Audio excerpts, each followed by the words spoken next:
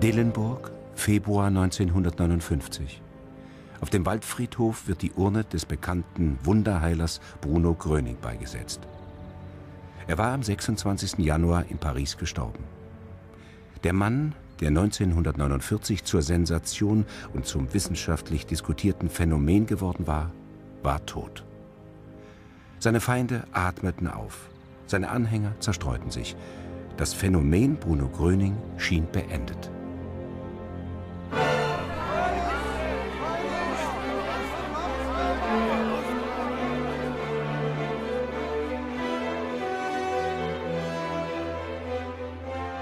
Rückblick. Herford 1949. Erster Massenansturm auf Gröning. In der Menschenmenge spielen sich unglaubliche Szenen ab. Blinde können wieder sehen, Lahme wieder gehen. Vom Balkon aus spricht Gröning zu den tausenden Heilungssuchenden. Er sagt unter anderem, Aufzuhalten ist es nicht. In der ganzen Welt soll sich die Heilung vollziehen. Rosenheim, Herbst 1949. Der Traberhof wird zum Weltereignis. Immer mehr Menschen drängen zu Bruno Gröning. An manchen Tagen sind es bis zu 30.000. Wenn man auf dem Balkon stand, dann sah man nur Menschen. Es wimmelte von Menschen. Unvorstellbar. Diese Fülle. Ich sage, es war schwer, überhaupt an das Haus hinzukommen. Und dann passierten dort denn eben auch, vielleicht noch in größerem Ausmaß, die Heilungen. Ne? Man hat immer den Eindruck, je mehr Menschen, je mehr Heilungen. Ne? Was ich gesehen habe, das waren die Rollstuhlfahrer.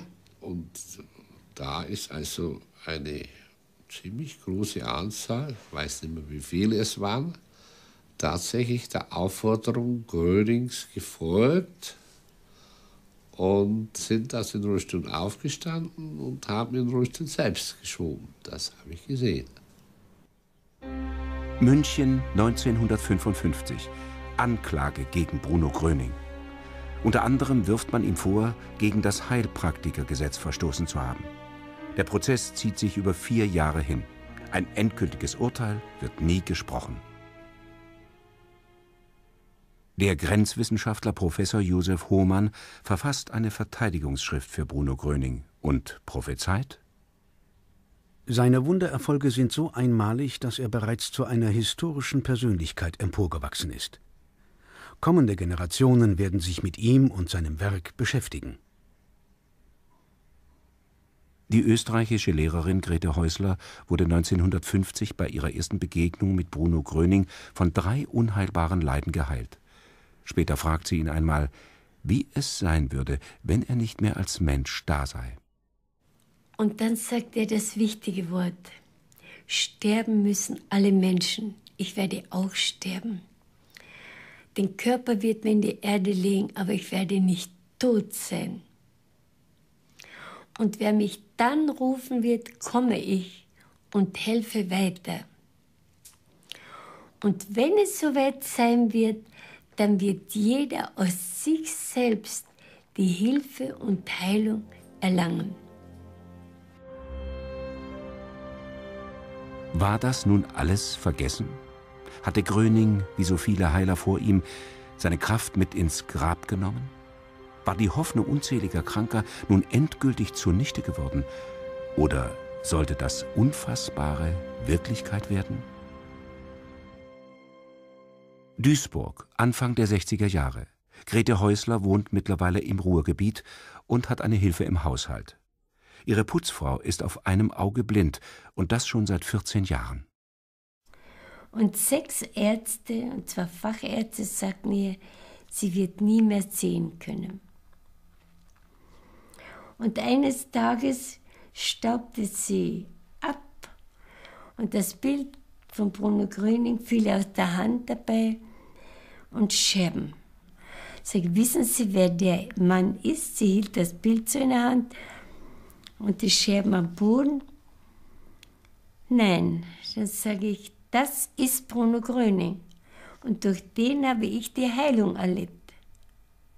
Sie guckte aufs Bild und sagte, was ist jetzt? Ich spüre so ein, wie einen elektrischen Strom von den Füßen bis zum Kopf. Da hat sie in dem Augenblick die Heilkraft das erste Mal empfangen. Und dann habe ich ihr erzählt von Bruno Gröning, wie ich ihn erlebt habe. Dritten Tag drauf kam sie wieder und sagte, Frau Häuser, ich sehe. Heute früh konnte ich Eiter von meinem Auge wegwischen und seitdem sehe ich alles. Loma 1979. Grete Häusler gründet den Bruno Gröning Freundeskreis.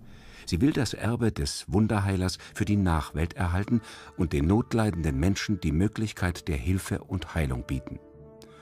Zunächst ist es nur eine Handvoll Gleichgesinnter.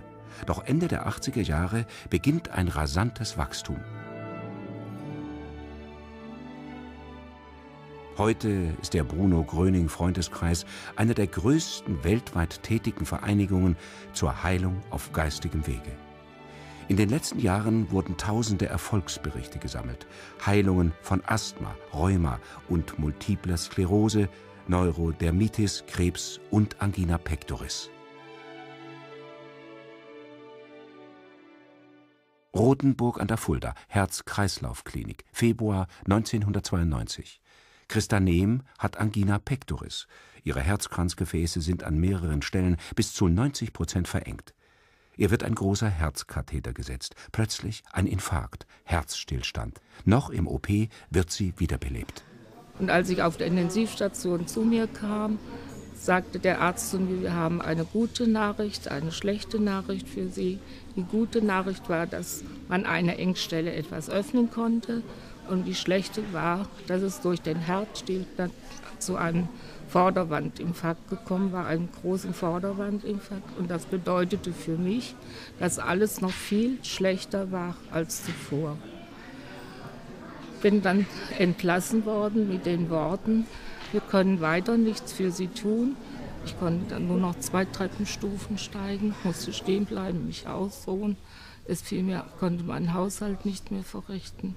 Ich konnte einfach nur noch ja, da sitzen und grübeln. Und ich war damals sehr verzweifelt, habe oft geweint und wollte auch nicht mehr leben. Bei der Teilnahme an dem Herz-Kreislauf-Training war sie zu dieser Zeit nur mit 15 Watt belastbar. 15 Watt bedeutet ein langsames Gehen auf einer ebenen Strecke, also eine minimale Belastbarkeit. Und so gingen zwei Jahre ins Land und da hörte ich durch meine Schwiegertochter vom Bruno Gröning Freundeskreis und sie sagte, willst du nicht mit mir dahin gehen? Vielleicht bekommst du da Hilfe. Und ich wollte damals eigentlich gar nicht mit, habe gesagt, die Ärzte haben gesagt, was kaputt ist, ist kaputt, das kann man nicht mehr reparieren. Aber ich bin dann doch irgendwann mit zu einer Einführung und dort hörte ich was von der göttlichen Heilkraft und dass man sich darauf einstellen kann und dass man auch gesund werden kann. Im Jahre 1994 wurde Frau Nehm im Herbst wohl eingeführt in die Lehre von Bruno Gröning und für mich als Arzt ist erstaunlich, dass nach kurzer Frist, das heißt bereits im Januar 95, Frau Nehm wieder voll körperlich belastbar war. Und von dem Moment an konnte ich frei atmen. Und ich bin nach Hause gegangen den Abend, überglücklich. Ich konnte dann nämlich nicht nur zwei Treppenstufen laufen, sondern 30 Treppenstufen auf einmal, ohne irgendwelche Beschwerden, ohne Luftnot, ohne alles. Und ich habe von da an dann meinen Haushalt wieder tun können. Ich konnte Fenster putzen, Betten beziehen, Staubsaugen. Ich bin in die Berge gewandert. Ich habe Gartenarbeit verrichten können. Und alles, weil ich diese Kraft immer aufgenommen habe und glauben und vertrauen konnte, dass alles, was da gesagt wird, stimmt. Tatsache ist für mich, dass Frau Nehm durch die Lehre von Bruno Gröning von diesem schweren Herzleiden befreit wurde. Und wir sehen in einer Nachuntersuchung, dass sie wieder voll belastbar ist. Das heißt, im Belastungs-EKG ohne Probleme bis 75 Watt. Und bei einer Ventrikulographie ist die anfänglich auf 26 Prozent geminderte Pumpleistung des Herzens nun auf 52 Prozent angestiegen. Ein für ihr Alter vollkommen normaler Wert, der nun auch die, die Heilung äh, dokumentiert. Und für mich als Arzt ist äh, diese Heilung wissenschaftlich nicht zu erklären. Kaiserslautern 1992. Als Dr. Gerhard Blättner zum ersten Mal vom Bruno Gröning Freundeskreis hört, ist er mehr als skeptisch. Nach über 30 Jahren medizinischer Praxis als leitender Belegarzt und niedergelassener Facharzt hält er die Beschäftigung mit solchen Themen für unseriös. Zum Bruno Gröning Freundeskreis bin ich gestoßen durch meine eigenen Patienten, die hinter meinem Rücken im Bruno Gröning Freundeskreis Hilfe gesucht und gefunden haben. Und eines Tages als geheilte, glückliche Menschen vor mir standen in meiner Sprechstunde und nachdem mir im Laufe der folgenden Monate immer wieder neue Heilungen zugetragen wurden, äh, wurde ich neugierig und habe meine Frau als Begleitperson einer Patientin in eine Gemeinschaftsstunde geschickt, um mir zu berichten, was dort passiert.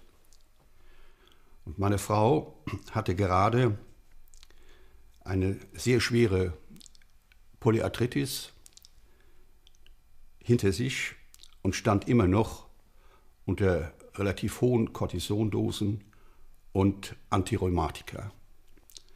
Und es ist uns äh, nicht gelungen, die Cortisondosis unter eine bestimmte äh, Dosis zu reduzieren, ohne dass es zu einem Krankheitsrezidiv kam. Und meine Frau hat in dieser Gemeinschaftsstunde ein sehr angenehmes Wärmegefühl empfunden und ein, ein Ameisenlaufen in den Gliedern und hat mir von dieser Stunde sehr positiv berichtet. Und es ist uns in der Folgezeit innerhalb weniger Wochen gelungen, die Medikamente stufenweise zu reduzieren und schließlich komplett abzusetzen, ohne dass es zu einem Krankheitsrezidiv gekommen ist. Und das hat mich dann als Arzt überzeugt, und ich habe dann mich der medizinisch-wissenschaftlichen Fachgruppe des Bruno Gröning Freundeskreis angeschlossen und auf eigene Faust recherchiert, indem ich Erfolgsberichte überprüft und schließlich dann später auch dokumentiert habe. Und habe mich dabei überzeugen können, dass Heilungen auf geistigem Wege Realität sind.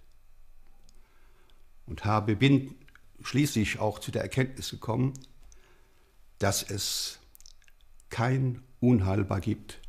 1995 ging ich zu meinem Hausarzt wegen sehr starken Rückenschmerzen.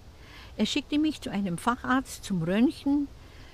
Dort äh, wurde festgestellt, ich habe Osteoporose, Knochenschwund im fortgeschrittenen Stadium. Ich bekam eine Hormontherapie. Die Schmerzen wurden immer schlimmer. Nichts hat geholfen. Ich wusste nicht mehr ein und aus. Es war dann so, dass die Frau Fischer die Hormontherapie nicht vertragen hatte. Sie erlitt eine Thrombose am Unterschenkel, musste abgesetzt werden, die, Hormontherapie. Und auch die Kalziumtherapie wurde von ihr nicht vertragen. Auch